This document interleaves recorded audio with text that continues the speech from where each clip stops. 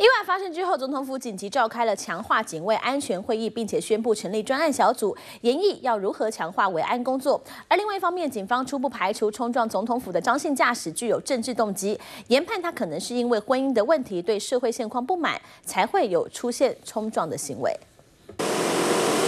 工程车来来回回总统府前加装十八座花岗岩花台，每座重达一公吨，连夜搬运，就怕再有激进分子冲撞总统府。我也才是立即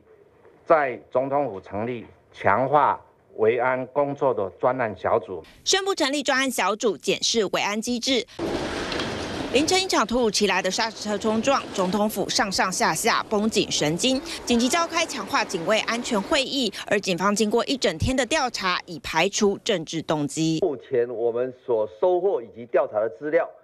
可以完全排除政治的动机。也就是这一个犯罪嫌疑人并没有对政治不满的一个情形，我们只能够跟各位报告的，就是说他对于社会现状有一些的不满。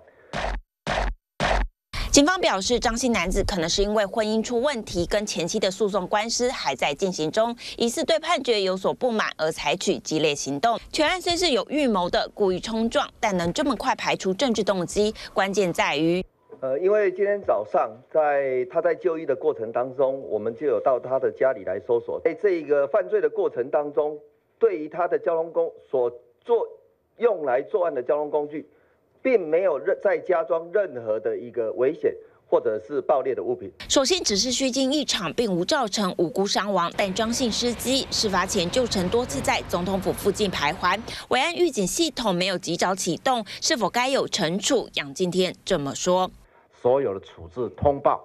都是符合我们标准作业程序，